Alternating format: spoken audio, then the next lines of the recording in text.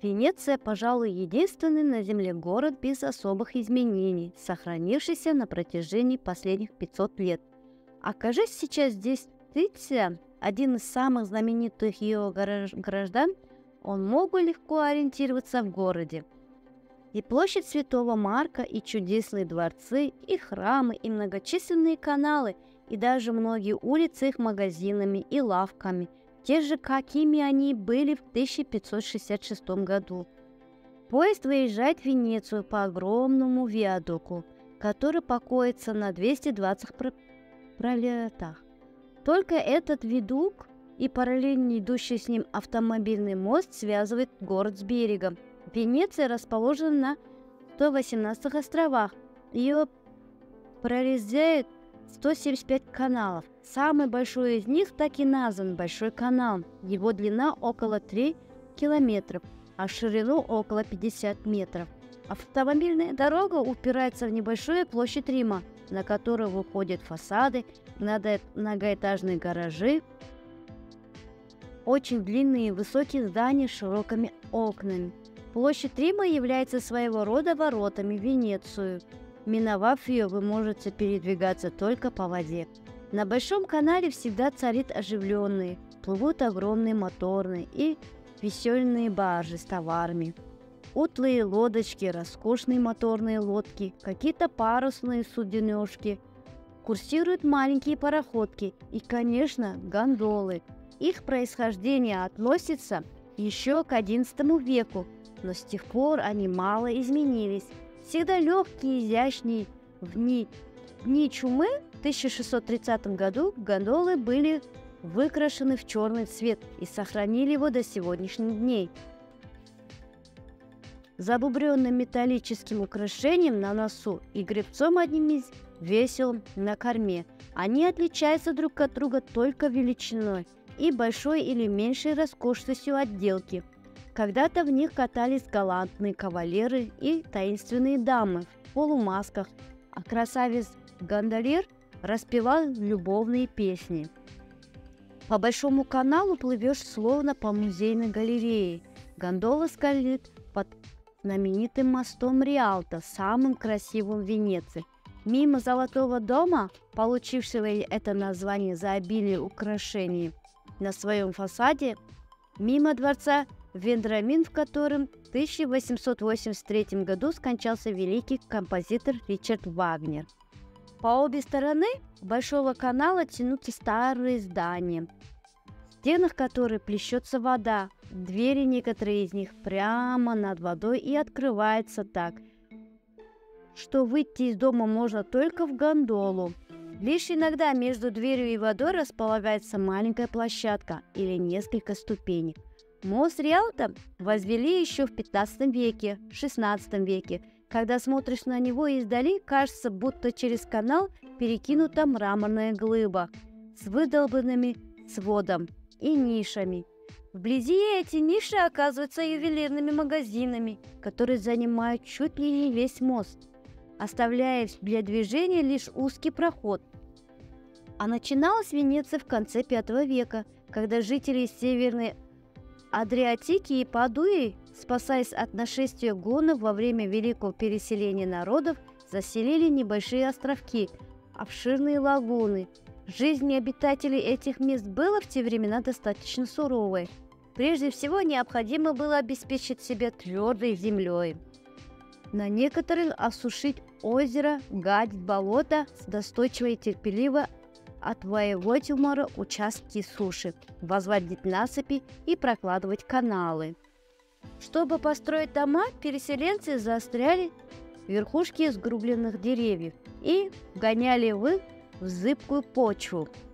Лесов в ту пору здесь было много, так что нужды в деревне переселенцы не испытывали.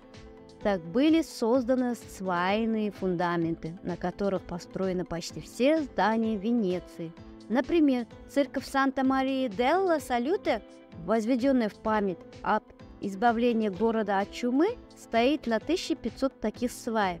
До сих пор могучий лес, возгланный в землю, стволов держит на себя весь город, не давая ему погрузиться в лагуну. Географическое местоположение Венеции тоже было очень выгодным, и уже в IX веке город стал торговым посредником между Западом и Востоком, что способствовало его политическому росту и экономическому обогащению. Громадные выгоды извлекали Венеция из крестовых походов. Она захватила много земель, получила ряд привилегий и еще больше распространила свое торговое влияние. Вначале Венеция зависала от Падуи, потом входила в состав Византийской империи, а с конца X века стала самостоятельным государством. Так небольшая группа, группа островов Лагуны выросла в обширную и могущественную державу. Куда бы вы ни шли в Венеции, какой-то бы маршрут не избрали, вы всегда попадете на площадь Святого Марка, единственную площадь в городе. Здесь же расположены самые знаменитые достопримечательности Венеции, и как жемчужина в роскошной оправе стоит собор Святого Марка. Первоначально небесным покровителем города считался святой Федор, но к IX веку этот византийский святой сменился латинским святым Марком, Тогда же появилась и легенда по поводу этой перемены. Возвращаясь к Аквилии, где вот проповедовал христианскую веру, святой Марк был застигнут бурей и остановился на одном из островов Лагуны. Во сне ему явился ангел и возвестил, что здесь он обретет покой. Святой Марк принял мученическую смерть в Александрии, где и был погребен – Отсюда его тело тайно вывезли два венецианских купца, объявив таможникам, что они везут Солонину. Слово Божьего ангела «Мир тебе, Марк!» Евангелист мой впоследствии было начертано на штандарте Венецианской республики. В 828 году священную реликвию доставили в Венецию. За несколько лет среди монастырских садов венецианцы построили собор своему новому святому. Через 150 лет первоначальное здание собора сгорело от пожара, который перекинулся сюда от резиденции дождей. Дождей. Предание рассказывает, что при этом пропали и святые останки евангелиста Марка. Вскоре храм был восстановлен с некоторыми добавлениями, но через сто лет его заменили совсем новым зданием. История современного собора святого Марка восходит к XI веку когда в своих основных частях храм был уже завершен, новый собор публики объявили о всеобщем посте. Был построен молебен, чтобы Божьей помощью отыскать пропавшие мощи своего святого. Вот тогда и произошло чудо. Когда процессия во главе дож, Дожем медленно продвигалась по собору у одной из колонн, воссиял свет – в ней рассыпалась каменная кладка. Из отверстия показалась рука с золотым кольцом на среднем пальце, и в то же мгновение по всему собору разлился чудесный аромат. Ни у кого не возникло сомнения, что воинство нашло свет... тело святого Марка, и все вознесли хвалу Господу за столь дивное возвращение исчезнувшего святого. Строительство собора продолжалось еще несколько столетий, и каждое поколение венецианцев вносило что-то новое в облик Собра, украшало и обогащало его. Из всех подвластных Венеции стран сюда свозились поистине сказочные сокровища. Из вестибюля, расписанные величайшими художниками, писателями, посетителями попадать во внутреннюю часть собора и в глубину которой находится золотой алтарь. За ними помещается картина на теме святой жизни, подаренная когда-то собору венецианскими аристократами. Картина выгравирована из золота, которого э, пошло 35 килограммов и украшено 2500 драгоценными камнями. На другом конце площади Святого Марка расположена Компанина, 100-метровая колонн, колокольня собора. С ее верхней площадки открывается восхитительный вид на Венецию, прилегающие острова и море. Площадь, перед которым обрамлена длинными зданиями старых и новых прокур... прокурации древних административных учреждений Венецианской республики на площади Святого Марка находится самое грандиозное здание Венеции – дворец Дожей, который тоже строился и украшался несколько столетий. Трудами многих талантливых умов и рук был создан и этот ни в чем не сравнимый архитектурный памятник. Как бы в нем насмешку над всеми законами архитектуры массивная верхняя часть дворца покоится на легких ажурных арках. При первом взгляде на дворец Должей кажется, что это здание опрокинуто фундаментом вверх и крышей вниз. Два этажа колонн снизу и сплошная стена наверху. Дворец Должей вас производит совершенно особое впечатление. Может быть, оно вызывает тем, что дворец не был крепостью, так как в Венеции не существовало обычных для средневековой Европы крепких замков. Здесь море служило защитой, а вместо фортов у республики был великолепный флот, потому что в архитектуре дворца с самого начала присутствовали декоративность и легкость. В непосредственной близости от дворца Дожи стоит здание знаменитой тюрьмы Карчери, окутанное страшными легендами и преданиями, в которых переплелись вымысел и реальность. Когда-то из одной из ее камер добровольно провел ночь английский поэт Байрон, чтобы пережить ощущение, ощущения, которые испытывает узник. Здание тюрьмы с дворцом даже соединено мостом. Вздохов сквозь его зачерешенные окна, осужденные, прощаясь со свободой, бросали последний взгляд на море, солнце и небо. Иногда по нему проводили приговоренных к казни, а снаружи мост вздохов даже приветлив.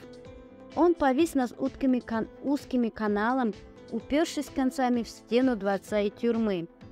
В настоящее время лом – упершийся. Многочисленные туристы могут любоваться отсюда видом лагуны, а по вечерам из проплывающих под мостом гондол слышатся звуки гитары и пени. Венеция представляется каким-то таинственным сказочным городом, золотым, голубым и розовым, городом дворцов и храмов, слепящего солнца и бархатной ночи, наполненной чудесными песнями гондольеров шелестом волн и аромат моря. Этот город, в котором во...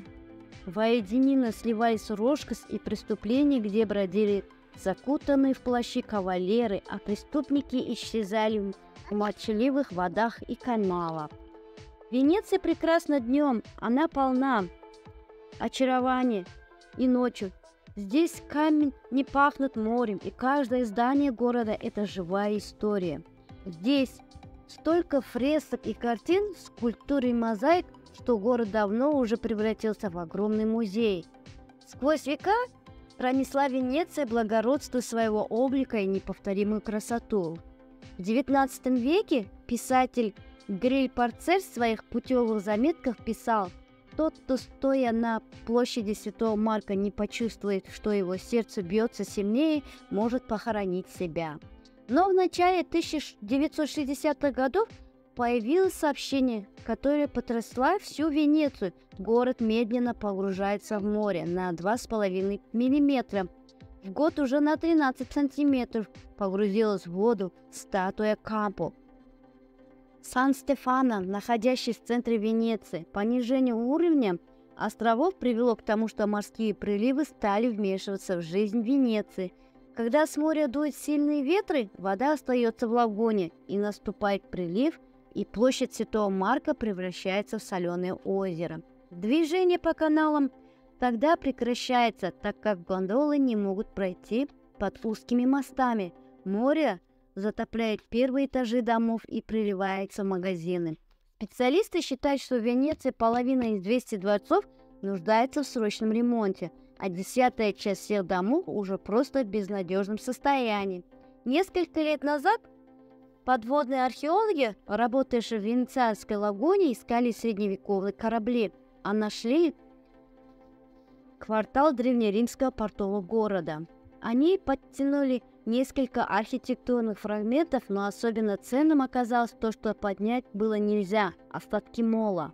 Сооружение, построенное 2100 лет, состояло из дугообразных каменных стен длиной по 150 метров они превосходно защищали город от высоких приливов. Ели нарас... нарастить эту стену, то сейчас Венеция была бы надежно защищена от затоплений. Стены-то сейчас Венеция было бы надежным. Однако такого проекта нет, и жемчу... жемчужина Адриатики, как когда-то называли Венецию, страдает от наступления морской стихии.